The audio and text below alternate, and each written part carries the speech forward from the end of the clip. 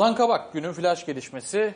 Ee, Daha önce de biliyorsunuz teklifler yapılmıştı ama Fatih Hoca ne zamanı devre arası değil demişti Ozan için. Ancak bu açıklamadan bir hafta sonra Ozan Kabak Stuttgart'a transfer oldu. 11 milyon euro gibi iyi bir transfer bedeliyle. Levent abicim senle başlayalım. 11 artı 1 oluyorsun 12. Hı, bir de bonusu Bir var. bonusu var. 12 o bonus kazanmamızı bilecek mi? Yani. Ee, benim açımdan doğru Levent abi mikrofonunda bir şey var hemen e, Zeki abiye dönelim. Zeki abi senle başlayalım. Ee, Evet. Ozan'la ilgili Evet. iyi bir pro- bonservis bedeli ama hani genç daha biraz daha Galatasaray'da kalmalıydı diyenler de var. Sen nasıl düşünüyorsun?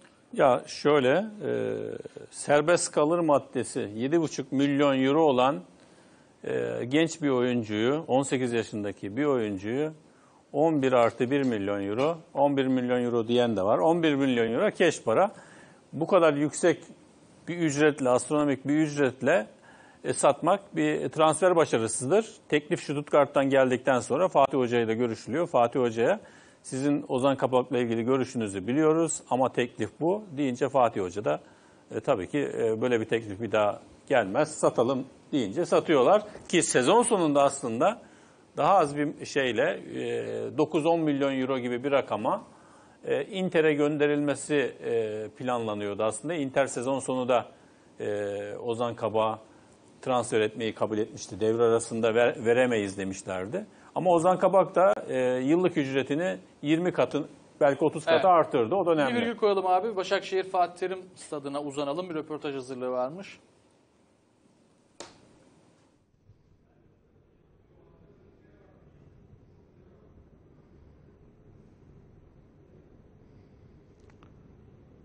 Ertuğrul şu anda yanımda e, Hatay Spor'un kalecisi e, Ömer Alıcı var. Evet Ömer güzel bir maç çıkardınız ama 1-0 şu anda mağlup ayrılıyorsunuz. Ne düşünüyorsun? Maçta da çok mücadele e, içeren bir maç. Çok da sert geçti. Bir de kırmızı kart vardı. Zira Türkiye Kupası'nda zorlu bir mücadeleden geçtiniz ama yine iyi mücadele çıkardınız. Evet, e, kamptan geldik zaten buraya. Hafta sonki maç için bizim umut verici oldu. Güzel maç oldu. E, rakibin haddimizi bilerek oynamaya çalıştık. Rakibe saygı gösterdik. Onlar da bize saygı gösterdi. Aslında buradan avantajlı bir skorla dönmek istiyorduk. Bizim adımızda yine avantajlı. Çünkü biz iç sahada bayağı etkili ve e, agresif oynayan bir takımız. Bizim için e, lig ilk başta önemli ama e, kupada da gittiğimiz yere kadar gitmek istiyoruz. Fakat e, Başakşehir e, Süper Lig'de de lider. Başakşehir'i eleyip e, ismimizden bayağı bayağı bahsetmek istiyoruz. İnşallah ikinci maçta elimizden gelen her şeyi yapmaya çalışacağız. Allah hakkımızda hayırlısını versin. Evet, kritikte kurtarışlar yaptın. Ee, Baş başa e, kal- kaldın birçok e, tehlikeli pozisyonda ama başarılı kurtarışlar yaptın. Herhalde e, rövanşında hedefiniz Başakşehir'i orada gollü bir şekilde aslında yenmeniz gerekiyor. Evet, en en aşağı 1-0 veya 2-0 yenip tur atlamamız gerekiyor. Benim adıma güzel maçtı. Onur vericiydi. İnşallah ikinci maçlara devamını getirebilirim. Çok teşekkürler. Biz hemen gel buyurun. Evet. Zorlu bir mücadele aslında 1-0 mağlup ayrıldınız ama mücadeleniz e, sahada gösterdiniz. E, 90 artı 5'e kadar ba- baskı yapan bir Hatay Spor gördük. Şimdi rövanşa gideceksiniz. Ziraat Türkiye Kupası son 16 elemesine de epey de e, zorlu yollardan geçerek geldiniz. Ne düşünüyorsunuz? Ee, öncelikle şunu söylemek istiyorum. Biz çok fazla baskı yapamadık. Başakşehir'in hakimiyetinde geçti bütün maç.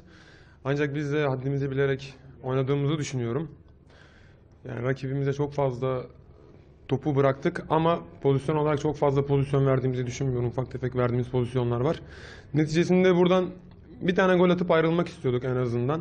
Çünkü az gol yiyeceğimizi biz biliyorduk. Bir tane gol yedik. Atıp dönseydik çok iyi olacaktı. En azından ikinci maça Hatay'a turu bıraktık. Geçersek bizim için çok iyi olacak inşallah. Bakacağız. Evet Yasin, e, peki e, son 16 turuna da zorlu bir mücadeleden geçtiniz. 3 takımı elediniz. Ki kendi liginizdeki 10 puan fark bulunan lideri de eleyerek geldiniz. E, ve şu anda da e, rövanşı Hatay'a bıraktınız. Hatay'da e, daha mı sert bir Hatay sporu bulacak Başakşehir? Ya Hatay Spor'da şey Hatay'da kendi seyirci ve saha avantajımızı kullanacağımız kesin. Ancak Başakşehir çok güçlü bir takım olduğu için şimdi buradan kesin kazanırız da diyemiyorum. Ama elimizden gelen bütün mücadeleyi verip turu atlamak için her şeyi yapacağız. Ha, olur mu olmaz mı göreceğiz. İnşallah tur atlarız yani. Çok teşekkürler yayınımıza katıldığınız. Kolay gelsin. Evet, önce kaleci Ömer Alıcı ardından Yasin e, konuğumuz da Ertuğrul. Biz tekrar futbolcular geldikçe yayına bağlanacağımızı belirtelim. Şimdilik sözü size bırakalım.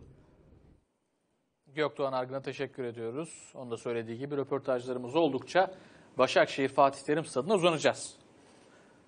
Zeki abi yarıda Evet. kesmiştim seni. İstersen devam et. Ee, Yani söyleyeceğim şu, Ozan Kabak e, gelecek vadeden gerçekten kısa sürede kendini geliştirip e, bütün Avrupa'nın majör liglerin ilgi odağı olmuş bir oyuncuydu. Galatasaray'da da geleceği vardı ama e, takımlarımız böylesine maddi imkansızlıklarla boğuşurken bu oyuncunun forveti satarsın bu paralar ama bir savunma oyuncusunu ve altyapıdan çıkmış bir oyuncuyu bu paraya satmak e, bir yöneticilik ya da e, Fatih Hoca'nın başarısıdır. Çünkü buralara getiren de Fatih Hoca Tabii, kendisi. işin o boyutunda Cesaretle oynatan lazım. ama e, şunu da söyleyeyim.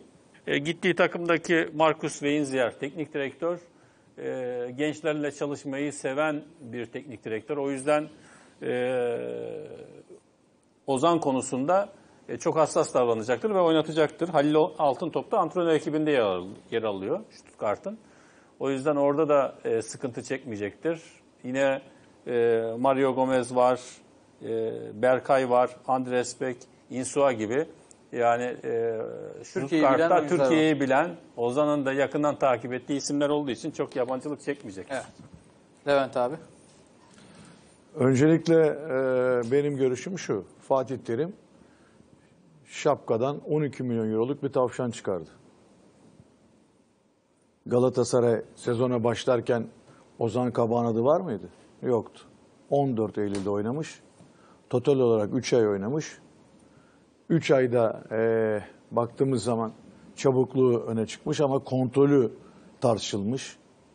E, yaptığı hataları tartışılmış gelecek vadeden bir oyuncu konumundayken bütün herhalde dünyada e, scout ekipleri takip ediyor tabii genç oyuncuları.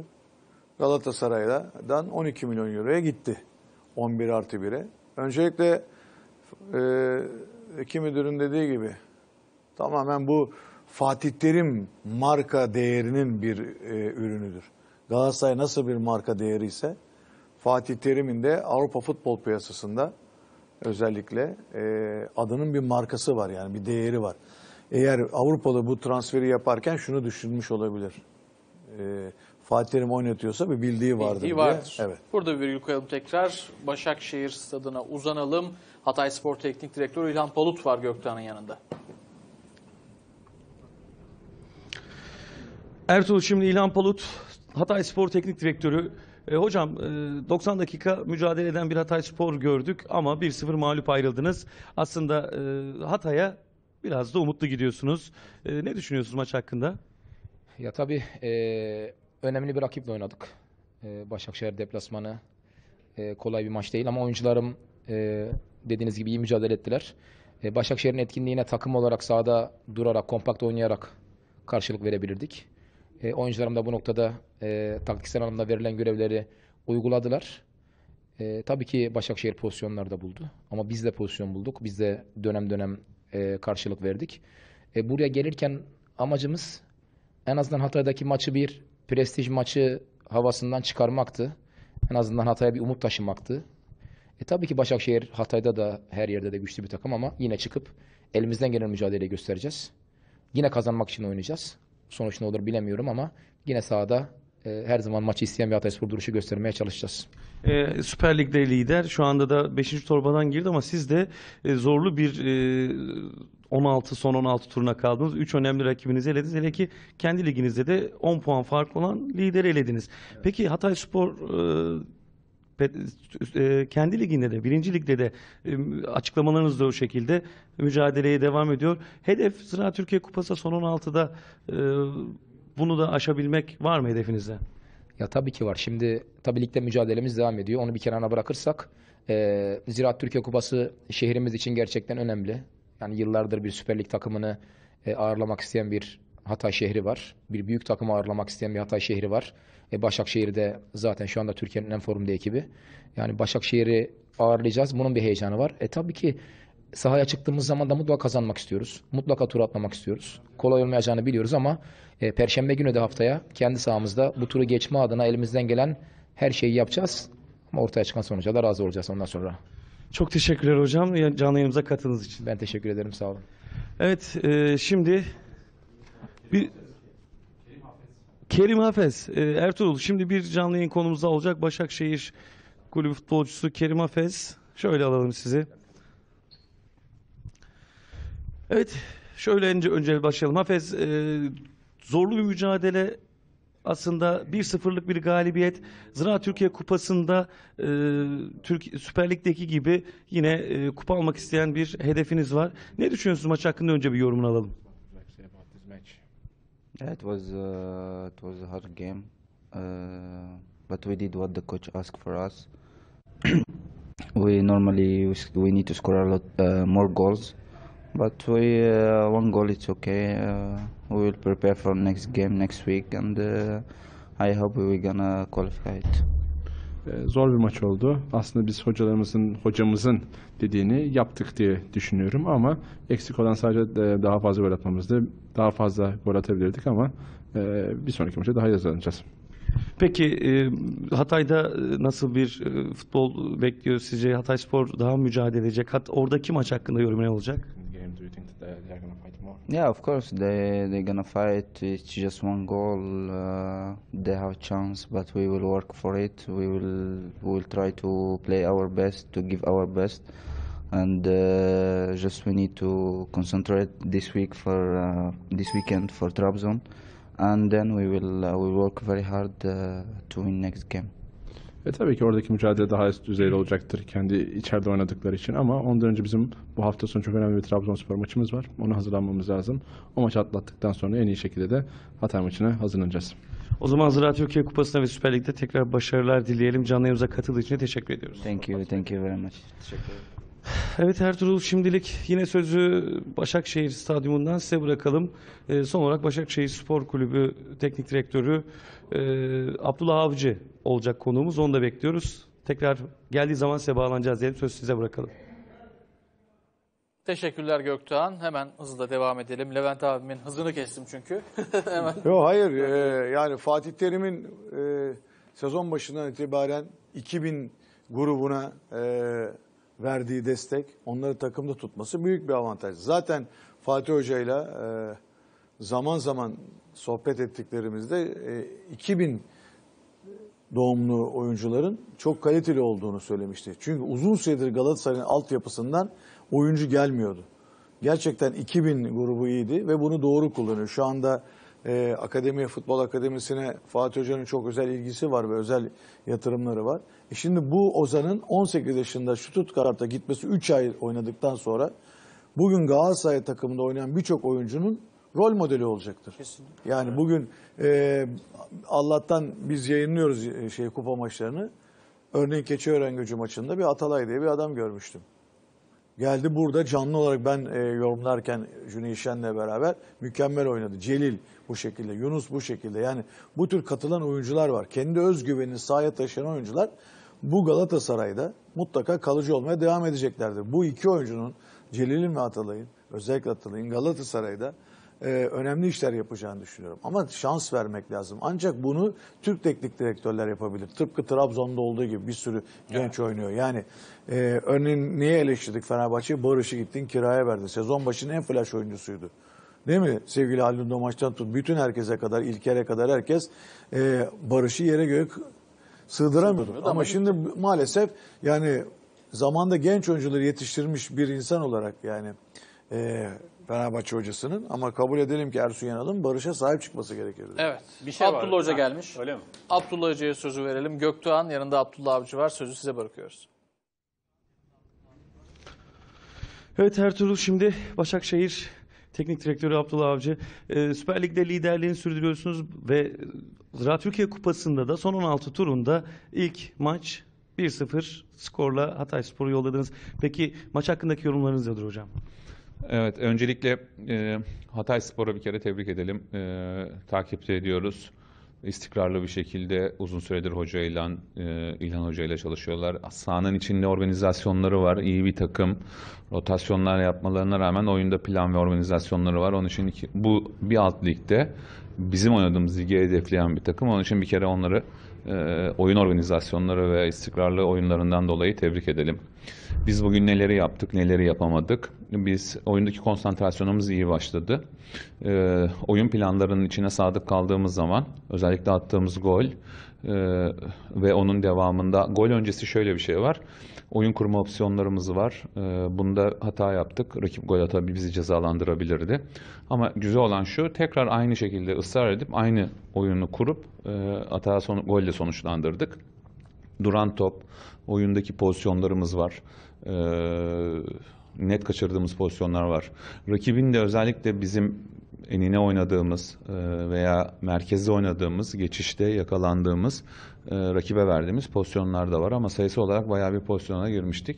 Ama şunu, bu oyun, futbol oyunu her zaman her anı, her dakikayı doğru oynayacaksın. Rakip 82-83. dakikada 10 kişi kaldı. 95'e kadar bir fazlayız e, ve sahada e, oyun organizasyonu doğru olmayınca, sağ dağılımı doğru olmayınca veya pas ve hareketliliği yapmasan e, pozisyona giremedik. Aslında daha fazla pozisyona girmemiz lazım, daha fazla. O anda oyunu belki daha iyi, rahat bir şekilde cebimize almamız gerekirdi. Ama sonucunda bütününe baktığında kendi sahanda gol yemeden kazandık. 1-0. Savunma güvenliğini zaman zaman doğru aldık. Oyunda son bölümde özellikle biraz daha hareketli ve dip koşular, rakip arkası koşular yapmamız gerekiyordu. Biraz pas oyununa döndü. Bu olmaması gerekiyor. Daha fazla pas oyununa döndü. Kazandık. Ee, bir avantaj var cebimizde ama oradaki maçta kolay olmayacak. İyi bir rakibe karşı oynayacağız. Şimdi bunu bugün itibariyle kapatıp oyunun bütününden ki olumlu olumsuz şeylerimize bakıp e, ligimiz başlıyor E, ve ligin değerli takımı şu anda da oynuyor Trabzonspor'la deplasmanda start vereceğiz. E, iyi bir e, ligin e, belki de sezonun en e, anlamlı ve değerli maçlarından bir tanesine gidiyoruz. Umarım istediğimizi alır döneriz. Peki yeni transferlerinizde Robinho ve Serdar Taç da sahne aldı. Bugün ilk kez 90 dakikada oynadı aslında Serdar ama Robinho ikinci yarı girdi. Nasıl buldunuz performanslarını? Şimdi zaten e, maç öncesi bazı planlamalar yapıyorsun. Oyuncuların fiziksel verilerini alıp durumlarına göre e, Adabayar'da geç katıldı, hastalığı vardı. Ona da işte belli bir süre vermek. Robinho'nun fiziksel durumunu testlerin sonuçlarını alıp belli bir süre vermek. Ağrı da bu anlamda uzun süredir bizde çalışıyor. Devre arasını iyi geçirdi. Onun süresini ayarlamak. E, Serdar e, 5-6 aylık bir süreç ama 90 dakikalık gene sahada kaldı. Özellikle bizim oyun organizasyonunda doğru işler yaptı ama daha iyi olacaklar. E, çünkü onun için bu süreleri e, sağlık ekibinden aldığımız, performanstan aldığımız verilere bakarak e, o süreleri belirliyoruz. Hafta sonu ile ilgili bununla ilgili bir karar vereceğiz. Ama genelinde kazanmış bir takım var. Bir bölümünü iyi yapmış ama daha fazla üretebilecek bir takım, üretmesi gereken bir takım vardı. Umarım e, bunları da daha iyi hale getirip devam edeceğiz. Çok teşekkürler yayınımıza katıldığınız için. Kolay gelsin. Başakşehir, Medipol Başakşehir Teknik Direktörü Abdullah Avcı konuğumuzdu ve şimdilik e, kulüp olarak aslında buradaki canlı yayınım sona erdiğini belirtelim. Söz tekrar size bırakalım Ertuğrul. Teşekkürler Göktuğan. Ağzınıza sağlık diyelim ve devam edelim. Yarınki yazının başlığını öğrendim Levent abi. Yani Ozan Kabak'ın transferi Fatih Terim'in eseri. E doğru yani onun eseri. Bu arada yalnız şunu kutlamak gerekir. Hem Ozan Kabak hem de menajeri Fazıl Özdemir'i kutlarım. Yani Fazıl zaten e, Galatasaray Kongre üyesi kendisi. 7,5 milyon euro serbest kalma maddesi varken 11-12 işi zorlaması Galatasaray'ın daha fazla kazanmasına çaba sarf etmesi de güzel bir davranış. Yani futbolcu kendi yetiştirdiği kuruma e, kazanması için başkası olsa 7,5'a giderim bana ne der arkama dönüp bakmam bile. Bu tür oyuncular çok yaşadık. İşte bir tarafta Galatasaray'ı para kazandırmaya çalışan Okan şey Ozan Kabak, diğer tarafta hiç oynamadan parasını çatı çutు tek kuruş bırakmayan Tarık Çamdal. Biri 11 milyon euro aldı oturduğu yerden Galatasaray'dan. Biri 3 ayda Galatasaray'a 11 milyon euro kazandırdı. Aradaki fark bu. Onun için ben her zaman söylüyorum yöneticilere de. Teknik adamlar genelde bunu yaparken oyuncunun karakterlisini alacaksın ya. Karakterlisini alacaksın kusura bakma. Yani bu davranışına bakacaksın. Bu, bu tür oyuncuları müm- mümkün olduğunca barındıracaksın. İşini doğru yapan, işine saygısı olan. Öyle değil mi? Bu tür oyuncuları alacaksın. Bak aradaki fark bu. 5 yılı Ünal Aysal imzaladı. 11 milyon euro bir para aldı Galatasaray'dan. Kaç seneyle ilgili. Totalde. Totalde. Yani. Ve kuruşu kuruşunu aldı gitti bugün Galatasaray'dan. Doğru yaptı Galatasaray yönetimi. Çünkü o kötü bir örnekti. Orada oturarak oturduğu için o parayı almaya devam ettiği için başka oyuncular da onu örnek gösterip oynamayabilirlerdi. Bozar. Yani baktığı zaman bir çürük elma bir e, Casanedro'nun sağlam elmayı çürütebilir yani. En son öyle veya böyle verdiler gittiler. Bu geçmişin büyük bir hatası. Dolayısıyla e, Ozan Kabak ve menajerini kutluyorum ama Fatih Terim'in de hakkını vermek bir- gerektiğini düşünüyorum. Tabii ki Fatih Terim'in söyledik de bir taraftan doğru yaparken şuradan da hata yapıyorlar. Portekiz Ligi'nde küme düşme hattındaki bir takımdan 4 milyon euroya e, bir stoper almazsınız. Bunu yapıyorsanız eğer 12 milyon euroya bir oyuncu satıyorsanız bu transfer başarısı da öbür taraftan da ne olacağı belli olmayan işte bir takım referanslarla ya stopere altyapıda işte 5-6 tane daha böyle oyuncu varmış. Kullan. Ya kullan. Yani artık bir yeni bir çağ açmak zorundalar. Beyaz sayfa açmak zorundalar. Bak bugün Trabzon yapıyor. Trabzon transfer tahtası kaldırılsa bile transfer yapmayı düşünmüyordu. Açık söyleyeyim. Başkan zaten önümüzdeki günlerde bir basın toplantısı düzenleyecek. Yaz dönemine kadar ara transferde transfer yapmayı düşünmüyorlardı. Sadece 1461'den pilot takımdan oyuncu getireceklerdi. Çünkü transferle bu işin olmayacağını Trabzonspor anladı. Ama Bu iş Onazi takı- ve takım Kutlu'nun oyunu. yeri nasıl olacak? Nasıl? Onazi'nin yeri nasıl olacak? İşte Batuhan oynuyor, Kamil Ahmet oynuyor. Bir şekilde dolar. Yani Önazi'nin yerini Önazi kalitesinde bir oyuncu bulacağını nereden biliyorsun? Ara transferde kimse iyi oyuncusunu vermiyor. İşte Galatasaray işte diyorum ya.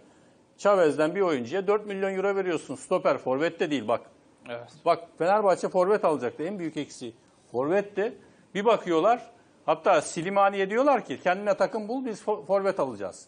Silimani Sporting'le görüşüyor. Bir bakıyorlar ki Komoli geliyor, Ersun Yanal geliyor. Listedeki oyunculara 10 milyon, 15 milyon euro. Diyorlar ki Silimani'yi geri çağıralım. Biz forvet alamayız bu şartlarda. Şimdi Galatasaray o yüzden forvet için mecburen fedakarlık yapıp bu oyuncuları sattı. Bu oyuncunun da 7,5 milyon euro serbest kalır maddesi varken Inter 9-10 milyon euroya çıkmıştı.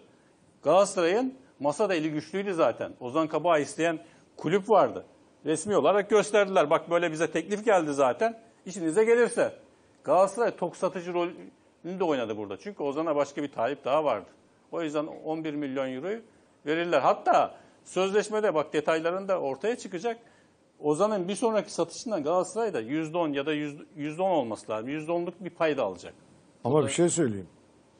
Sen öyle söylüyorsun ama 7.5'u veren alır da hissesi. Oyuncu kötü olsa Galatasaray eli Ayrı, güçlü olmaz. ayrı. Niye kötü olsun? burada eli güçlü değil Tamam, Kusura eli bakma. güçlü, eli güçlü. 7.5 milyon euro serbest kalır maddesi Galatasaray'ın elini güçlendirmez. Hayır o bak Ozan gitmek isterse hangi Bak, kulüp verirse versin. bilmediğimiz- Fenerbahçe bu verse süreçte- alırdı. bu süreçte şu da Beşiktaş olmuş verse olabilir. alırdı. Bak, Atıyorum Trabzon şu verse da olmuş alırdı. olabilir. Yani burada Fatih Ozan'ın Hoca oyuncuyla Galatasaraylılığı da görüştükten önemli. sonra Ozan'ın buradaki tavrı önemli. serbest kalır maddesi belki de kamuoyuyla paylaşılmadan değiştirilmiş olabilir. Bunu bilmiyoruz şu anda. O 7,5 milyon euroyu değiştirmiş olabilirler Ozan'ın iyi niyetiyle birlikte. Ben hiç değişiklik zannetmiyorum. Ola- ama- Olsaydı ama olurdu. şimdi bak- Ama burada Fatih Terim'in kendisine yaptığı büyük babalıktan sonra Fazıl'ın da Galatasaraylı olmasından dolayı menajer olarak Ozan'ın da altyapıdan yetişip kendisine bu şansların hocasının e, vefa gösterip böyle bir para Yani almasına ben neden oldu. o zaman Yoksa o yedi ka- buçuğa herkes alır. Ya yasal O olarak para o çıktı. zaman bastırır parayı alabilirsin. E, tabii. o zaman değişmiştir mutlaka bir Ama şeyler yok. olmuştur bunu açıklarlar. Oyuncu istemekten sonra gitmez. Ya, Ya oyuncu bir istemekten şekilde sonra. oyuncuya sen 250 bin euro mu veriyorsun? İşte 1800 e, vergilerle net rakam 1 milyon euro geçecek eline. Oyuncuyu bir şekilde ikna edebilirsin. Doğru. iki buçuk verirsin. 1 milyon euro Yani- eline geçecek. Şunu Ha, söyleyeyim. çok para fazla önemli değil. Ayrıca Galatasaray da bu parayı verebilirdi O- Ozan'a. Galatasaray çünkü bizde keş para alacaktı. Belki bir buçuk verecekti Ozan'a. Şimdi Ama mesela, Galatasaray mesela para cazip geldiği için sattı Zeki ama burada şunu söylemek istiyorum. Tamam oyuncuyu satıyorsun da öbür taraftan da bol keseden harcıyorsun. Ama ona bir Forvet şey diyemeyiz şu anda. Bir dakika ona bir şey diyemeyiz. Bak ben de eleştirdim. Hayır, Dedim ki çok para şimdi veriyorsun. buradan şunu söylüyorum. Bir daha söyledim. Ee, bunu dinleyenler daha ağzımızdan çıkanlara dikkat e, çeksinler. Dikkat kesesinler lütfen. Bize gelen bir bilgiyi aktardım. Bilgi bana ait değil. Sonra burada insanları bağlatmayalım buraya. Sonra telefon edip de e, Levent Düsemen'i yalanlayın demeyin oraya. Galatasaray yöneticiler bir şey söylemek istiyorum. Evet. He. O yönetici de 300 bin ben de seni şurada 300 bin destekleyeyim. O Evet. yönetici gazetelere bize geldi biz almadık biraz üstüne deyip de sonra baskı gelince çıkıp televizyonlara da yok o farklı bir oyuncuydu demek de ne kadar doğru ya Hayır. yapmayın ya. Şimdi Yapmayın, bir şey kimi söylüyorum. kandırıyorsunuz Kendi ya? memleketinizden talep alıp da bizi e, yok etmeye çalışmayın. Biz bir bilgi soruyoruz. Gidin kendi hatanızı kendiniz örtün yani. Biz hata yapmıyoruz. Ben oyuncunun kalitesiyle ilgili bir şey söylemedim. 1 milyon satın alma e, talebiyle kiraya talep edilmiş. Bu dünyanın her yerinde bu böyledir. Bak bir şey söylemek istiyorum. Galatasaray'ın marka değerinden dolayı Ozan Kabak e, 11 milyon 12 milyon euroya gitmişti. Levent abi. Ozan Malatya'da Bak. oynasaydı 2 milyon liraya gitmezdi. Bak Levent abi ben şunu söylüyorum. Çaykur Rizespor'un yöneticisi o haber gazetelerde çıktıktan sonra çıkıp kardeşim bu gazete hani diyorlar ya yalanlıyorlar ya her şeyi. Evet. O zaman niye yalanlamadın da aradan 3-5 gün geçtikten sonra ya biz karıştırmışız. Bize teklif edilen Marco A'yla bu Marco A farklıymış demekle nereye varıyorsun? İşte Trabzonspor gibi. gazetesinde haberi çıktı. E, defans oyuncusu 9 bir liraya 900, almamış evet, Trabzonspor. evet, evet. Bunları biz söylemiyoruz. Ben 3-8 dedim 4 çıktı. Rakam eder etmez onu bilmiyorum. Trabzon'a bonservisiyle öbür bonservisi, tarafa da kiralık olarak. Evet. Hayır 300 bin Evet, euro kiralık evet. 1 milyon euro satın alma opsiyonu. Ha, Trabzon'a da 9 bin euro bonservisiyle. Evet, evet. Şimdi şunu söylüyorum Ertuğrul. Markao'nun e, bir defa hava toplarında etkili. Sol ayağı mükemmel. Oyuna topla girişi iyi. Yani gelecek vaden genç bir stoper. Sol stoper. Fatih Hoca istiyordu. Bu Tarık Çam'da da verdiğim bu paralardan sonra bu paralar belki çok yüksek görünmeyebilir. Ben Galatasaray yönetiminin parasal konularda ortaya koyduğu değerlerden yola çıkarak hareket ediyorum. Kılı kırk yarıyorsunuz. 3 kuruşu 5 kuruşu verirken dikkat ediyorsunuz. 4 bine göre vermişsiniz. Futbolcunun kalitesiyle ilgisi yok. Evet. Ha, bunun doğru olup olmadığını oyuncunun Doğru. Galatasaray'a verecek Aynen. katkıdan sonra Tabii değerlendireceğiz. O zaman da deriz ki iyi ki almışlar. Ha, iyi bravo çıkarsa. deriz. 4 milyon. Tabii. Daha ben de şunu söylemeye çalışıyorum. Bugün açık konuşalım. Böyle bu tür stoperler Benfica'nın ve özellikle Porto'nun radarından kaçamaz ya. Evet. Kaçamaz. 36 yaşındaki şeyi aldı, Pepe'yi aldı ya. Evet. Porto. Ki onlar büyük Bu adam yatırımlar 22 yapıyorlar, yaşında, evet. 23 yaşında. Evet, evet. Yani istese bunu rahatlıkla alabilir. Di- burnunun dibinde bu oyuncu ya. Aynı ülkede o top oynuyor. Onu söylemeye Yani o çalışıyorum. bir soru işaretiyle Ha, bakıyorsun. Soru işaretiyle bakıyorum demiyorum. Oyuncu mutlaka bak araştırma yapmışız. Kaliteleri konusunda, e, be- e, yetenekleri konusunda birçok bilgileri ortaya koymuşuz. 4 milyon liranın ödenen bonservis bedelinin doğru mu olup olmadığını oynamaya başladıktan sonra göreceğiz. Katkısından sonra göreceğiz. Ondan sonra Maicon da çok önemliydi Galatasaray'a gelirken. Ama Maicon'un ağırlığından Artı, kimse söz etmedi. Levent Maicon'un bir kalitesi var. Tartışmıyoruz ama ağır Senin oyuncu. acil alman gereken neydi? Fatih Terim teknik direktörü ne istedi ısrarla? İki Forvet. tane forvet istiyorum dedi sü- sürekli. Oraya gelelim Önce işte. orayı bir al. Sonra Hayır önce bir forvet bir Ya, ya. stoper istiyorum dedi. Ya. Stoperi aldın iki sağ. sonra hatta esas Eren de birinci. gö- Eren'i de hatta gözden iki çıkarınca tane iki forvet oldu. alabiliriz dedi. Evet. Doğru. O noktaya gelelim Levent abi. Forvet transferi hangi aşamada? Artık hani o kadar çok soru geliyor ki. E, Hepsini cevaplarız kardeşim. espriler de oluyor bu konuyla Valla ilgili. forvet transferi konusunda en iyi cevabı tu, Abdurrahim Albayrak vermiş işte. Ben de merak ediyorum. Evet, tamam işte o merak ediyorsa biz de merak ediyoruz. Yani yönetici merak edecek ko- konumundaysa bizim ne söyleyeceğimiz var Santrfor konusunda? Biz bunlarla ilgili bir sürü isimlerden söz edildi. Ama iş dayanır dayanır her şey bonservis yok da aylardan beri oynamayan düz koşular yapan Dembaba'ya dönerse hiç kimse e, ne de onun adı mutlu edemezler taraftar. Bunu söyleyeyim kusura bakmayın. Bu benim kendi yorumum. Yani Galatasaray 31 Ağustos'ta bu transferi yapmadan sezona başladığında yani transfer sezonu bittiğinde 1 Eylül'den 31 Ocağı kadar özellikle bu 4 Ocağı kadarki süreçte bu Santrfor işi bitirmesi gerekirdi. İstersen Zeleznov'u alsaydın, istersen bir, bir tane adam girecekti. Kampa yetişecekti değil mi? Yetişecekti. Bunların adaptasyonu var. Hazır adam gelecek. Alan söz ediyorlar. Alandan öyle bir ortam yarattılar. Yok 17'si 19 sözleşmesi bitiyor. Hayır adamın sözleşmesi var. Evet. Para verip Sözleşme alacaksınız. opsiyonunu kullandılar. Şu anda Galatasaray Guangzou'yla da Evet. masaya oturmak zorunda. Mas- Adamlar oturacak, uyanıklık evet. yaptılar. Uzattılar opsiyon Alaca hakkını. hayır, alacaklarını ödediler. Ödediler, opsiyon hakkı otomatik. Söz hakkı otomatikman şey, bitti. Sen tabii. oyuncu gelmek istiyor. Tabii. Oyuncuyla Galatasaray anlaştı bir sorun yok. Ama kulüple anlaşmalısın. Şimdi kulüple Kulübün anlaşıyor. sözleşmeli oyuncusu. Kulüp eğer sana satacaksa bu oyuncuyu sen bu oyuncuyu alacaksın. Ama ben duyduğum kadarıyla Galatasaray bu tür e, transferleri 31 Ocak'a kadar bitirecekmiş. Ben bunu e, yönetim baz- ayağından duymadım. Bu kadar söyleyeyim. Onun için biz de merakla O zaman bekliyoruz. transferleri yönetim Abi. ayağı yapmıyor mu? Yani, Yani yönetim ayağı sadece takip ediyor. Tabii ki onlar yapıyor, imza atıyor ama e, bu liste ben bilgiyi onlardan almadım dedim. Onların da Anladım. bilgisi vardır Şimdi canım yani. Sıkıntı şu. Bu hafta sonu lig başlıyor. Ortada oyuncu yok. Yani lig başladıktan sonra alsan da Levent abinin dediği gibi hemen takımı tanıması, şehri tanıması, hocayı tanıması vesaire derken birkaç hafta uyum süreci de olacak. Bunun üzerine eklenecek. Yani Başakşehir'in yaptığı gibi ya da Kasımpaşa'nın yaptığı gibi kamp devam ederken oyuncuları getireceksin ki teknik direktör de e, oyuncuyu takımla kaynaştırsın ve hazır bir şekilde ikinci yarıya girsinler. Ama hala ortada işte Abdurrahim Albayrak ben de merak ediyorum demesi enteresan. Şimdi Galatasaray'ın eline şu anda para da var. Yani alabilecek gücü de var. 20 ama, milyon eurosu var. Ama şimdi Le- Levent abi, harcadılar. Levent abi. O da bir şey öğrendim bir tek şey. Peşin ödememişler parayı. Vadeli ödeyeceklermiş. Uzun. Onu öğrendim. Ee, Marka ayağı. ilgili ödeme uzun vadeli. Kısa vadeli değil. Orada akıllı bir hareket etmişler. Ya çok büyük öyle cepten vermişler. Yani yaklaşık olarak ben bir şey söyleyeyim. Galatasaray'ın elinde total olarak Rodriguez ve e, geldiği zaman ya 19-20 milyon euro bir para var ellerinde. Var da Futbolcu şimdi- alacaklarını ödemişlerdi. İşte gidecek Tarık Çamlı'nın alacağını onlar gidecek. ödemişlerdi. Büyük bir ihtimalle ama Galatasaray'ın öncelikle iki tane çözmesi gereken deve dişi gibi sorunu var. Biri Eren, bir tanesi Serdar Aziz. Çünkü bu oyuncuların talep talipleri yok. Ha gider mi gitmez Galatasaray yönetimi nasıl bir karar alacak? Hatta ben yani Fenerbahçe'nin Serdar Aziz'i e, istediğini ya ben yine bir bilgi bak bilgi sunuyorum. Duyduğumu bana anlatılanları söylüyorum kaynaklardan dolayı. 2.4 milyon euro Fenerbahçe vermiş şeye bonservis olarak. Galatasaray 4 istiyormuş bu yüzden. Zaten Serdar'ın 2-4 alacağı var. 3-4 değil öbürü e, menajerinin parası. 3 no- 3.4. Evet. Menajer 5 kuruş almamış Galatasaray'da. Bu yani 2019 Mayıs'ın sonuna kadar Galatasaray'ın yükümlülüğünü getirmesi gereken Serdar ve menajerine total para 3.4 milyon euro. Bu kadar basit. Galatasaray yönetimi bunun kararını verecek. Fatih Terim'le bir beraber verecekler. Yönetim olarak kendileri mi tek verecekler bilmiyorum. Ya da ya da bu şartlardan sonra Ozan gittikten sonra elimdeki yeterli olmazsa Semih kiralanması söz konusu diyorlar. Yani Fatih Terim'le e, Fatih Terim'dir Semih oynatan biliyorsun. Parlatan yine orası. Fatih Terim sonrası Semih aşağı indi grafik olarak. Evet. Tekrardan toparlanır toparlamaz onu bilemem. Hoca bildiği oyuncularla devam edip onlara sözü geçtiği için onları tekrardan ayağa kaldırabilir. Fatih Terim bu tür özellikleri vardır. Bunu kabul edelim. Ama bu sorunları çözmeniz lazım. Bunları bu paraları ödemediğiniz takdirde bu oyuncular 31 e, Ocağı kadar kulüp bulamazlarsa senin hasetin zaten. Bu paraları ödemelisin.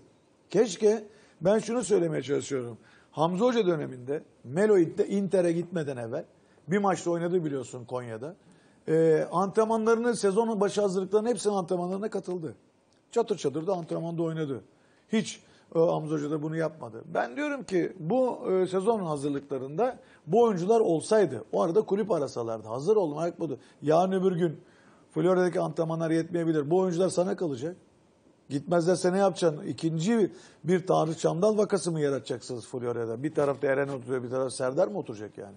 Onlara bakmak lazım. İkisi de şu an elde. Evet, bunlar senin sezondaydı ya. Bunu doğru değerlendirmek lazım. Bu mühendislik Galatasaray'da doğru yapılmıyor. Kusura bakmayın. Burada bir hata var. Bunların bunlar gövdeli oyuncular çünkü yüksek maliyetli oyuncular bunlar. Yani Türkiye'de takım Bu Ozan kolay değil. Ozan Kabak'a kızarsın. Sen nasıl bensiz transfer görüşmesi yaptın deyip Florya'da oturtursun. Maddesi olmadığını düşünürsen. Ama bunu Galatasaray'ın doğru yapması gerektiğini düşünüyorum. İki oyuncu önemli oyuncu. Bak mesela Fatih Hoca Belanda konusunda gitme demiş. Doğru mu?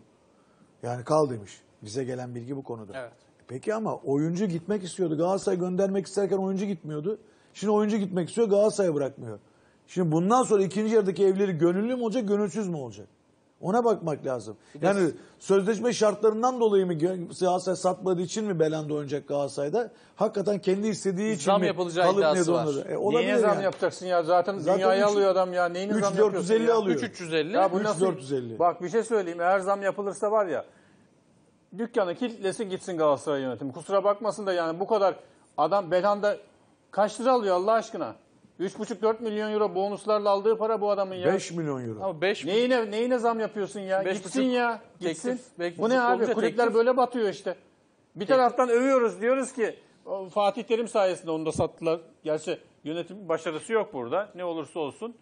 Bir taraftan övüyoruz Ozan Kabak'ı gönderdiniz diye. E, öbür taraftan bakıyorsun. E, Belhanda'ya zam yapalım da kalsın. Bu ne ya? Her futbolcu ondan sonra der ki ya bana da zam yapın ben de gidiyorum. Bu mudur yöneticilik? Bu mudur şirket yönetmek? Ben gidiyorum. Gidersen git. Al işte altyapıdan çıkardığın adam Galatasaray'ın en değerli markası bu sezon. Geçenlerde bir araştırma yapıldı. Galatasaray'ın kadrosundaki en değerli marka isim, en değerli oyuncu olarak Ozan Kabak gösterildi. Avrupalılar, scout ekipleri vesaire, yetenek avcıları bunları takip Ercan Ozan'ın bir de Ozan- istatistikleri vardı. Onu da ekrana Ozan getirebiliriz. Kabak'ı o yüzden alıyorlar.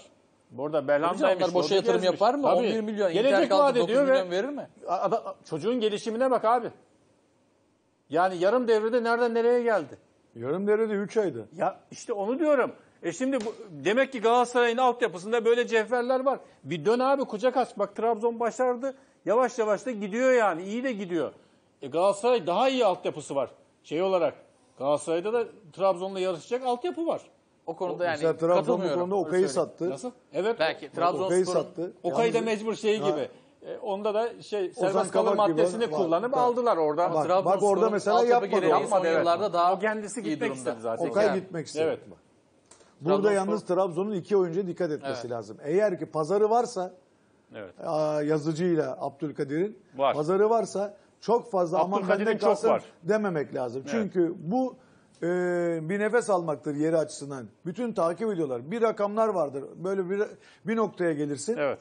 Onu elinden çıkarman gerekiyor çıkaracaksın. Çünkü Avrupalı böyle bir şey. Bu marka bak Çağlar Söyüncü nereye gitti? Almanya'ya gitti. değil Almanya, oradan Premier Almanya'da Leicester Leicester City'ye gitti. Affedersin. Almanya liginin bir değeri var. Alman liginin değerinden büyük para Leicester City'ye gitti. Çağlar Almanya'dayken okumuyorsunuz. Yaptığı hatalardan dolayı hep Alman basını ölümcül hatalar yapıyor diye bahsediyordu. Ama mücadelesinden, yürekli oyunundan çok memnundular. Evet. Hatadır. Mesela Ozan da yürekli cesur oynuyor. Ozan'ın da mesela ölümcül hataları var Galatasaray'da. Penaltısı var. Porto maçında topu taça atmadı kaptı 3-1 oldu maç. Ama işte adamlar Mesela- ona rağmen Ama bunlar düzeltebilecek hata gibi görüyor Avrupalı. Onun fundamentalına, çabukluğuna, mücadelesine ona ba- bakıyor Bu arada- stoperlerde. Trabzon'da ilk yarı sona erdi. Evet. Balıkesir Spor karşısında Ekuba'nın ilk yarının Evet. son dakikasında attığı golle Evet. Trabzonspor ilk yarıyı 1-0 Orada da- önde kapattı. Biraz Güzel da istersen e, Güzel maç bir yandan oluyor. maçı da izliyoruz yorumlayabiliriz Zeki abi. Evet, evet yani e, güzel maç oluyor. Önazi ve Susa'nın yokluğunda özellikle e, Batuhan ve Kamil Ahmet'i e, takip etmeye çalıştım. İyi oynuyorlar. E, Balıkesir Spor'a pozisyon vermediler. Trabzonspor'un e, Rodayega ile kaçırdığı pozisyonlar vardı. Yusuf'la kaçırdığı pozisyonlar. E, Giray Hoca çalıştırıyor. Sonuçta Trabzonspor'u genlerine kadar iyi tanıyan e, bir teknik direktör. Öbür tarafta da Trabzonspor'da uzun yıllar oynadıktan sonra teknik direktörlük yapan, bence Trabzonspor'un kaderini değiştirebilecek bir teknik direktör, uzun yıllar çalışması gerektiren ve yeni Şenol Güneş olacak bir teknik direktör yolunda ilerleyen Ünal Hoca var. Yani e, ona destek vermesi lazım şehrin. E tabi ATV'den HD kalitesinde yayınlanınca da maç sonuçta e, tribünlerde çok fazla seyirci yok ama e, seyirciler Başakşehir maçını bekliyor. Özel e, ka- e, bir sürü e, hazırlık var Trabzon'da Başakşehir maçı için. O maçta tıklım tıklım olacak. Çok kritik tribünler. bir maç. Evet. Koreografiler özel hazırlanan işte tribün liderlerinin hafta boyunca e, taraftarları yönlendirmesi yani o tribünlerde olacak. Ya ben şunu söyleyeceğim. Bu transfer döneminde e, şöyle bir şey oldu. Eskiden büyük takımlar, şampiyonluğu oynayan takımlar ara transferde kadrolarını güçlendirirlerdi. E, Başakşehir'le Kasımpaşa'yı bir kenara koyarsak diğer takımlar, diğer şampiyonluğu oynayan zirve takımları e, kadrolarındaki yıldız oyuncularını satmak zorunda kaldılar. Çünkü denk bütçe uygulaması nedeniyle maliyeti de düşürüp UEFA'ya anlatabilmek için bunları mecbur kaldılar. Eskiden satmıyorlardı. Gene teklifler geliyordu eskiden ama şimdi satıyorlar. Doğru olanı da yapıyorlar. Ama burada sürdürülebilirliği sağlayabilmek için de Ozan'ı 12'ye satıp e, savunma oyuncusundan, stoperden önce hocanız sizden forvet istiyor. Bu takım çok pozisyona girip hatırlayın Şampiyonlar Ligi maçlarında ne pozisyonlara girdiler gol atamadılar. 5 olacak maçı kaybettiler. Sırf Eren yüzünden belki de. Orada iyi bir forvet olsaydı yani önce bir forvet almak gerekir ama ara transferde kimse elindeki iyi forveti de satmak istemiyor. O yüzden de zorlanıyor takımlar. Fenerbahçe alamadı.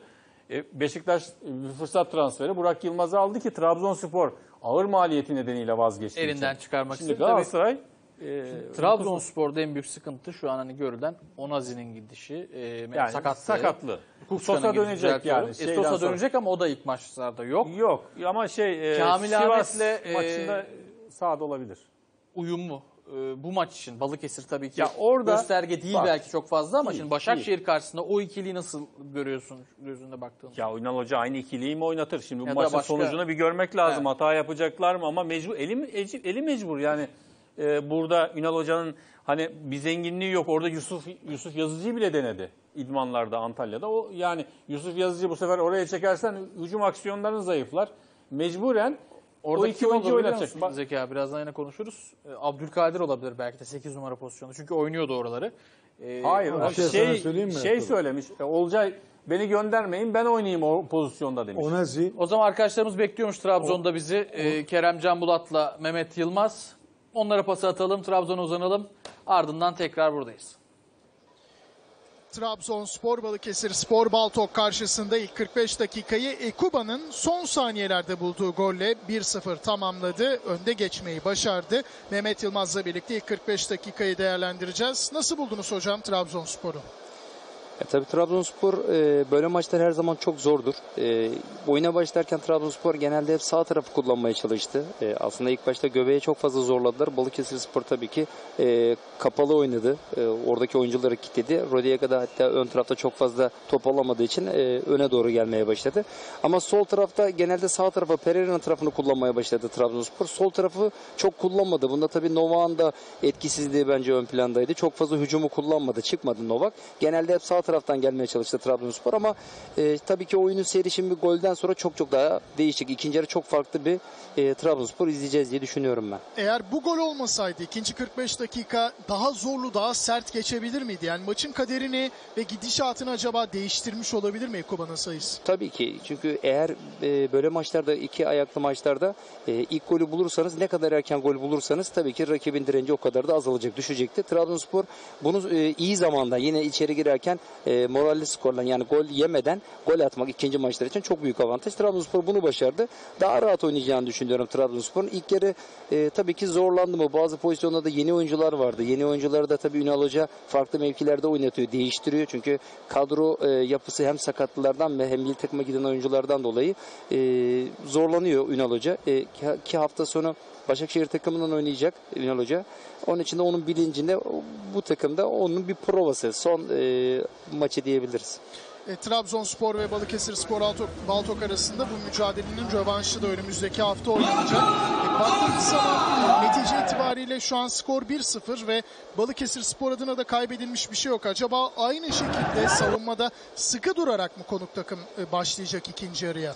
Ya tabii ki kontrollü oynamak Çift zorunda. Tek, maç yani sonuçta. tek maç olmuş olsaydı e, sonuçta turu kaybediyorsun farklı ama iki maç bence büyük takımlar için çok çok daha avantaj. Çünkü bir kazaya uğrama şansı yok. İkincisinde telafi yani birincinde belki olabilir ama ikincisinde telafi etme şansı var. Trabzonspor'un da bu avantajı var. Ama burada gol yemeden atacağı gol çok önemliydi. Gol veya goller. E, Trabzonspor şu an e, iyi durumda görünüyor. İlk yarıyı değerlendirirsek önemli olan golü bulmaktı Trabzonspor için. O skoru da buldu. İlk 45 dakika itibariyle öne çıktığını düşündüğün bir oyuncu var mı? Ya, genel anlamında Trabzonspor'da çok sivrilen bir oyuncu görmedim. Ama e, mücadele gücü yüksek oyuncular. Yani şimdi benim beklediğim oyuncular tabii ki Yusuf Yazıcı, e, Rodeyaga, Abdülkadir biraz daha hani ön plana çıkacak oyuncular diye bekliyordum ama tabii ki şu ana kadar onlar tamamen e, ön plana çıkmadı. Yani beklediğim performansı onlardan çok fazla daha göremedim. Ama dediğim gibi ilk maçlar her zaman böyle kupa maçları ve kamp dönüşü ilk maçlar her zaman zordur. Bu oyuncular şimdi daha da rahat oynayacak tabii. İkinci yarı ilk yarıyla bence alakalı, alakalı olacağını düşünmüyorum. Trabzonspor daha istekli, daha çok pozisyona giren e, takım hüviyetinde olacak. Bambaşka bir ikinci 45 Evet. dakika bizi Evet. bekliyor diyorsunuz. Balıkesir Spor Baltok'ta forvet desteği Belek mücadele ediyor ve topu tutup saklayıp takım arkadaşlarını Evet. organize edebilme kabiliyeti de var. İkinci yarıda acaba ön plana çıkabilir mi dönem dönem? Zaten sistem onun üzerine yani Bele ilk yüksek toplar atılan topların önde kalması için zaten Belek iyi de oyuncu. Yani topu önde tutuyor. Tabii ki Balıkesirspor nefes alıyor arka tarafta. Öyle oyuncular tabii ki şart. İyi oynuyor ama dediğim gibi pozisyona girmekte de onlar da çok zorlanıyor. Çok fazla da çıkamıyor Balıkesir takımı. Çünkü Trabzonspor ilk yarı zaten topun hakimiyeti sürekli Trabzonspor'da. Ama e, duran toplar olursa belki e, öyle Balıkesirspor'un pozisyon bulma şansı olabilir diye düşünüyorum. Filip Novak ve Joao Pereira'dan sence yeterli katkıyı alabildi mi Trabzonspor ilk yarıda? O beklediğimiz iki e, bek oyuncusundan şu ana kadar bence randımanı çok fazlasıyla alamadı. E, çünkü hani yine orta taraftan gol oldu. Ama kenarları Trabzonspor'un aslında çözüm üretme anlamında kenarları çok çok daha iyi kullanması lazım. İki tane hücum özelliği çok iyi olan e, gole yakın da oyuncuları var. Genelde hep sağ tarafta Pereira'yı kullanmaya çalıştılar ama e, hep göbeğe zorladıkları için kenarları Trabzonspor çok unuttu. Eğer kenarları kullanabilmiş olsa ön tarafta çünkü Rodega gibi bir oyuncum var. Ekuban gibi bir ikinci santrafor. E, çünkü Rodega öne gittiği zaman kenardan gelip içeri girme özelliği var Ekuban'a. Gol özelliği var. Bunları çok fazla kullanamadı Trabzonspor. Onun için de gol yollarında çok fazla e, üretken olamadı. İlk yarıda Trabzonspor Balıkesir Spor Baltok karşısında devreye Ekuba'nın kaydettiği golle 1-0 önde geçmeyi başardı. Yeniden biz sözü merkeze bırakalım. İkinci yarı içinde sizleri ATV ekranlarına bekleriz. Trabzon'a selam söylüyoruz ve tabii ekibimize de kolaylıklar diliyoruz. Kerem Can Bulat ve Mehmet Yılmaz maçın ikinci yarısında sizlerle olacak. Bir şey söyleyecektim. Tabii. Ee, Zeki Bey'e güzel bir soru sordun Önezi ile ilgili. Bana göre Önezi Trabzonspor'un orta sahadaki ene- enerji santralıydı. Şimdi buraya böyle bir santral kurmazsan orayı nedir onun adı başka türlü sadece e, geçici bir santralle idare etmeye çalışırsan sıkıntı yatır. Jeneratörle yürümez orta saha. Santralın orijinali gibi olanla yürür. Kusura bakma yani. Bundan sonra oraya bir jeneratör koyarak orta sahayı idare etmez. Ee, Ünal Hoca'nın bundan sonra bütün konsantrasyonu Önezli'nin yerine kimi oynatacağı adam olmalı. Yani bunu bulması gerekir. Muhakkak Eğer zaten yarışı Bu- yani bulma şansı yani takım içinden çıkarmak zorunda artık çünkü transfer de yapamıyorsun. Takım içinde de gençler savaşıyor. Hatta bir yönetici bana şunu söylemişti Antalya kampı ile ilgili. İdman e, kalesi hani taşınır ya futbolculara Evet. hoca der şuradan şuraya getirin diye. 29 futbolcu birden gidiyormuş. Sosa da dahil o kale direğini alıp gö- götürmeye. O kadar bütünlük var takımda. En önemlisi takım bütünlüğü, takımdaşlık, takım ruhu. O Trabzon'da var. Ha, yani tabii ki Olcay Önazi'nin değerlendirilecek mi abi? Önazi'nin yeri dolmaz. Ya şu anda Olcay ısrarla Belki- gitmek istemiyor. Oraya denen, denenemez Yani mi? ben e, Almanya'da 6 numara oynadım, orada oynarım. E, bana bir şans verin diyor. Belki Ünal Hoca değerlendirecektir. Şu anda da transfer yapamıyorlar. Maliyetli bir oyuncu. Bak e, başkanın söylediği e, 2 milyon 1800 e, bonuslar, primler vesaire 2 milyon euroyu buluyor e, Olcay. Yedek oyuncu artı Ünal Hoca ile bir sıkıntısı vardı. E, onlar nasıl giderilecek? Ünal Hoca bildiğim kadarıyla istemiyor, gitmesini istiyor. Yani oynatır mı bilemiyorum. Şu şartlarda belki bir barış sağlanır bu ikili arasında. Ki e, ben bu sezon oyunun içinde aslında fırsat da yakaladı Olcay Şahan ama oyunun içine girmiyor. Yani sorumluluk almıyor. Çok isteksiz. Ya çok isteksizdi. orası çok fizik güç ister. E, bakıyorum Sivas Belediye maçında çıplak gözle izledim Trabzon'da. E, sahada hani geziniyor. Hiç e, ikili mücadeleye girmiyor, sorumluluk almıyor. O, Olcay Şahan o değil yani. E, Böyle oynayacaksa zaten oynamasın. Ama savaşacaksa ilk geldiği dönemde e, Ersun Yanal döneminde devre arasında bir geldi. Çok iyi oynadı mesela. Yani öyle bir e, bilemiyorum. Yani şu anda ben açıkçası Trabzonspor açısından bu kadar zor durumdayken kulüp gönderilmesinde fayda var. 2 milyon 2 milyondur. O maliyet daha da düşer. 15 milyon euroya iner bir anda takımın kadro maliyeti. O çok çok daha iyi olur. Trabzon e, çorbasını çok daha rahat kaynatır. Evet. Tekrar dönelim. E, golcü meselesi çok soruluyor. Evet. Balotelli ismine. Evet. İkinize de sorayım. Balotelli ile ilgili bir gelişme yaşanabilir mi Levent abi? Galatasaray'a. Benim benim düşüncem şu. e, Fatih Terim zoru seven bir teknik direktördür. E, uzun süredir hem Galatasaray'da hem milli takımda görev yaparak dibe vurmuş oyuncuları, arızalı oyuncuları futbola döndürmüş bir teknik direktördür. Melo gibi bir oyuncuyu oynatmak kolay bir şey değil. Artı yerli oyuncularla geçmiş 96-2000'de yaşanan yani Haciler, Popescu'lar bunlar kolay oyuncular değildi. Fatih Terim kendi duruşu olan, gücü olan, oyuncuya dokunabilen bir teknik direktör. Bunu ben söylemiyorum. Fernando, Fernando e, verdiği röportajlarda hep Fatih Terim'den övgüyle söz ediyor. İnanılmaz diyor. Yani Allah vergisi bir yetenek diyor. Balotelli Galatasaray'ın gündemine gelirse bu e, taraftarın, coşkulu taraftar içerisinde bir defa Türk Telekom'da müthiş bir Balotelli izleriz. Ama bunun perde gerisindeki en büyük gücünü Fatih Terim olur. Yani ben Balotelli'nin oyunculuğuna laf etmedim hiçbir zaman. Tabii ki. Golcüne laf etmedim. Gücüne, kuvvetine asla laf etmedim. Ama arıza yani. O ne zaman nasıl sigorta ne zaman atacağı belli değil. Bir dönem anlattım ya Beşiktaş'ta Pascal Numa diye bir adam vardı. Pascal Numa zaten arıza yapmasa dünyanın en önemli santrfor olurdu ama arıza yani genelde. Şimdi e, bu şartlarda Balotelli'yi Fatih Terim ister mi? Onu bilmiyorum. İsterse eğer Galatasaray alma şansı olursa, sözleşme imzalarlarsa ciddi söylüyorum ayağa kaldırır Türk Telekom. Tribünleri değil mi? Galatasaray ciddi bir kalite ve şey güç katar yani. Aynı fikirde misin Zeki abi? Yani şunu söyleyeyim, bugün e, bir iddia daha o- ortaya atıldı Galatasaray'la ilgili. Onu da söyleyelim. E, forvet transferiyle ilgili olarak Belçika basınında yer alan bir iddia. Anderlecht de istiyor çünkü bu oyuncuyu. Crotone'nin forveti 1.98'lik Simi. E, Galatasaray'ın 1.5 milyon euro teklif ettiği, teklif edildiği Seri B'de oynuyor şu anda e, bu oyuncuya. Onun dışında Balotelli konusunda biz bugün de e, foto maçta e, manşetti çıkan e, baskıda. E, Nice kulübünün başkanı teklif gelirse e, bırakırız kendisini diyor. Yani şu anda e, Balotelli alınabilecek en iyi durumda. Yani şu şey olarak, ekonomik olarak çok rahat alabilirsiniz. Çünkü Nice'de bu sezon e, onun üzerinde maç oynadı ama gol atamadı. Mutsuz. E, İstanbul'a da geldi biliyorsunuz. Bir rezidansta Galatasaraylı yöneticilerle görüştüğü iddia ediliyor. Bunları her bütün yazdık, çizdik. E, Fatih Terim, Levent abinin dediği gibi yani bu tip oyuncuları sıkı disipliniyle disiplin altına alır. E, Galatasaray'ın böyle bir heyecana, bir dünya yıldızına ihtiyacı var. Galatasaray bir markadır sonuçta. Yani Türk futbolunun Avrupa'ya açılan penceresi ne olursa olsun. Sonuçta oradan kupa getirmiş e, büyük bir takım. E, Böyle bir yıldıza ihtiyacı var. Tribünlerin yeniden heyecanlanması için işte Balotelli bereketiyle gelir ayrıca. Ya forma satışıydı, localar ona göre, e, sponsorları ona göre bulursun, reklam anlaşmalarını ona göre yaparsın. Yani ona vereceğin 3 milyon, 3,5 milyon euro yıllık rakamı belki atıyorum 5 ister. Ama onu çıkarabilecek bir oyuncu. Bunu Marcao'da mesela bu, mal- bunu çıkaramazsın. Marcao savaşır senin için ama e, Balotelli hiçbir şey yapmasa bile bereketiyle gelir. Bütün Avrupa'da, dünyada bir anda Galatasaray bu transfer haber olur. O da çok önemli ve Mustafa Cengiz'in, Sayın Mustafa Cengiz çok yıprandı.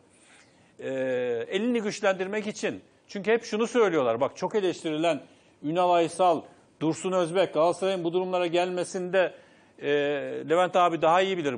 Ekonomik anlamında çökmesinde bu başkanların rolü ne kadar varsa ama diyorlar ki ya büyük transferler yapıyordu. Tamam kötü yönetti kulübü batağa sürüklediler ama çok da iyi transferler yaptılar. Bu yönetimde a- ayağını yorganına göre uzatıyor belki ama transfer de yapamıyor diyorlar. Galatasaray ta- taraftar transfer ister. Özellikle de savunma oyuncuları çok heyecanlandırmaz taraftar. Hiç hiçbir takımın taraftarını savunma oyuncusu kaleci heyecanlandırmaz ama forvet ne olursa olsun çok heyecanlandırır. Çünkü futbolun doğasında e, sevinç unsuru goldür. O yüzden e, böyle bir forvete ihtiyacı var. Dembaba konusunda biliyorsun anlaşma yaptılar ama Fatih Hoca hani e, son çare olarak getirebilir. Daha iyi Çünkü kapalı bir kutu. Yani e, sakatlanabilir. O sakatlık sürecinden sonra çok iyi dönemedi sahalara. E, bir bilinmezlik var ama alan konusunda da işte dediğimiz gibi Galatasaray'ın işi zorlaştı. şimdi. Dembaba'yla Kulübüyle de anlaşması Dembaba'yı Az önce Çin basınında bir haber çıkmış. Son dakika olarak geçmişler. Evet. Bir sonraki durağa Galatasaray olacak şeklinde. Ol- Alan yani- Carvalho için. Onu zaten biz Evet, her ama gün yani yazıyoruz da yani. da. Şimdi ama Bence Fatih alan- Hoca'nın alan transferi e, Fat- bitirmek istiyor Galatasaray. Fatih Hoca'nın O iş hayali. İlk Fatih Hoca'nın hayali, olur. Galatasaray taraftarının hayali ne Dembaba ne Alan Carvalho. Onlar böyle hani işte Balotelli olmaz da isimli bir forvet, kendini kanıtlanmış bir dünya yıldızı. Galatasaray bunu hak ediyor. Fatih Hoca bunu hak ediyor. Hak Bak, etmenin ötesinde Zeki Hak abi demin güzel bir nokta işaret ettin.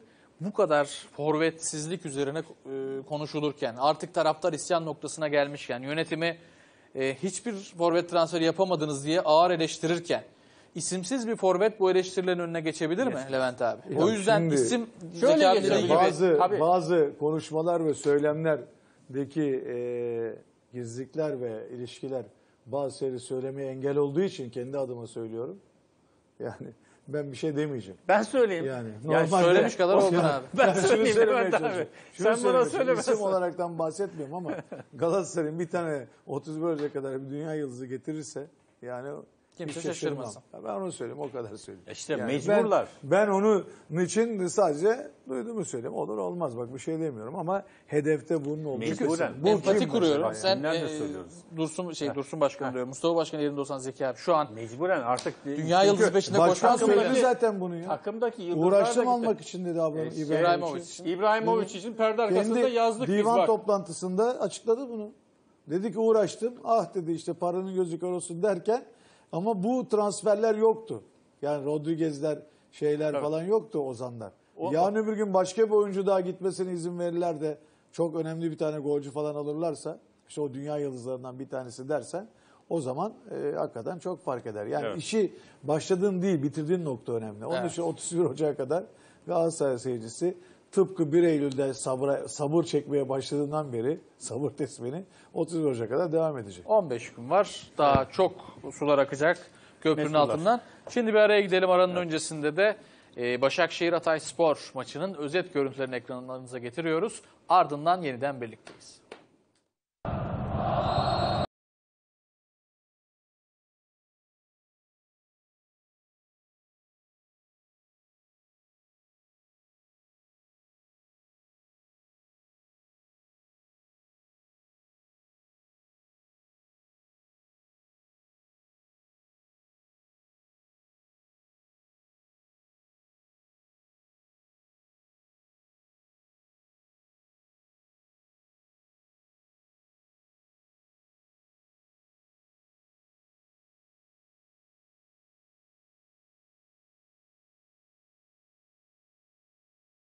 Çünkü oyuncunun alacağı ücret yüksek e, ama maliyetli değil yine de Galatasaray'a.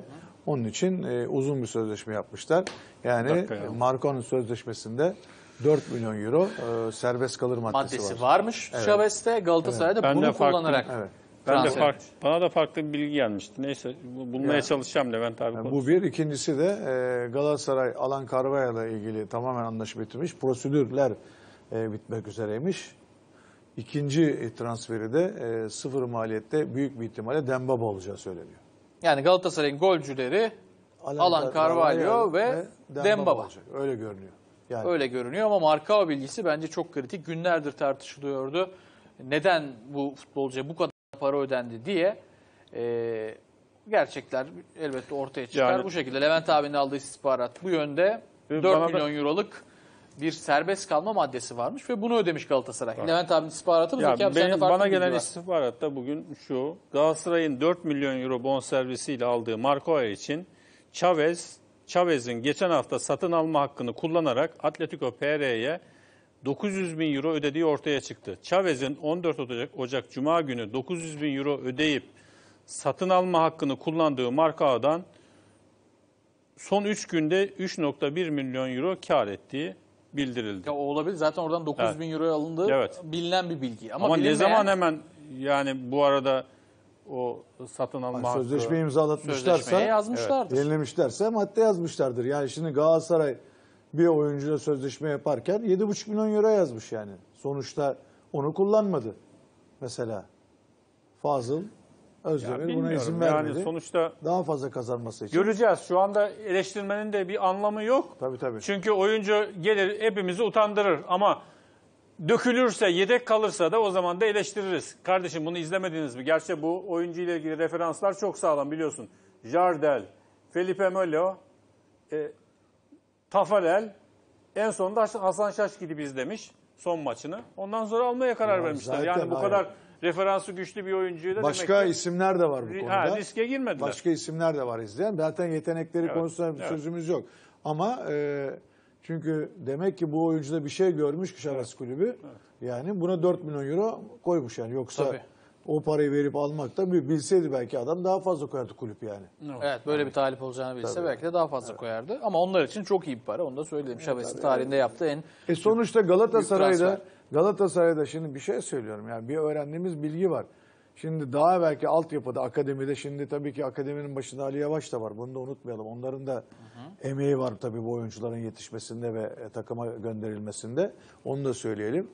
E, kabul edelim ki daha belki altyapıda e, yani Fazıl'ın menajer Fazıl menajerine yani Okan'ı, şey Ozan'ın menajerine e, daha evvel bundan futbolcu olmaz dendiği söyleniyor denilen o oyuncu için 11 milyon lira ücret ödendi. Yani bir de öyle bakmak lazım olaya. Şimdi bu bilgi de var geldi. Yanlış değil ki. Yani bu, öyle Tabii mi? tabii. Ya şimdi bunu söylemeyelim mi yani? Evet. Ha, Dolayısıyla bu arada bilgiyi e, verelim. Bizim Uğur Karakulukçu'nun Twitter'ında gördüm hemen. Chavez bu devre arasında bir oyuncu daha satıyormuş. Orta saha oyuncuları Eustakio'yu e, Cruz Azul'e 4 milyon euroya satıyormuş. Bir transfer daha yapıyorlar yani. E, Chavez'in kasası doldu. yani öyle sonuçta söyleyeyim. e, bir ölçüde öyle bakacaksın. Bir- Evet yani sonuçta bundan sonra Ya ben Zeki zaten- önemli. bu arada Buruma'yı da kiralamak için bastırıyor. Bir taraftan Buruma ile ilgili de girişimleri var. ama Galatasaray'ın iki tane yabancı kontenjanı var. Yani işte Onu unutmayalım. nokta atışı yapmaları İki lazım. yabancı kontenjanını Bunlar da e, golcüyle kullanır herhalde. e, büyük bir ihtimalle iki golcüyle kullanır. Ya Tetteh mesela Bu saatten e, sonra. Tetteh olmuyormuş. Benjamin Tetteh ile ilgili Hayır, Çek takımının andro- antrenörü Kovaç'a sormuşlar. Tetteh Galatasaray'a mı gidiyor diyor. Tetteh Ama tabii ayrılacaklar onu da olacak bence Levent abi. satmıyoruz demişler. Mariano Maicon'dan giden olur mu? Hani Tetteh haberleri yapılıyordu. O onu da- satmıyorlar. Yani o, Ya Maiko'nun, Maiko'nun şey Mariano'nun bu rakamı gideceği kulüpte alacağını tahmin etmiyorum. Ya tabii Fatih Terim Mariano eğer ben gidiyorum beni satın derse Fatih Terim hayır demez benim Ya bildiğim kadarıyla. zaten kiralık Ama değil. Sonuçta satmak mesela istiyorlar. Satmak düşebiliyor istiyorlar musun? Mariano'yu. Ahmet Çalık'ı bile gönderemiyorsun. O bile Galatasaray'dan gitmek istemiyormuş yani. Şimdi şu. Düşemiyor. Mariano için oynamıyor ama gitmiyor. Mariano için Sao Paulo'dan kiralama teklifi geldi. Galatasaray yönetimi de kiralık değil. Biz bir oyuncuyu satıyoruz. A- Alıyorsanız satın Tabii alın. niye kiralama. kiralık versin canım? Aynen. Yani. Yani sonuçta daha Böyle bir iyisini teknik yerine var. koyamayacaksan Mariano'yu satmayacaksın.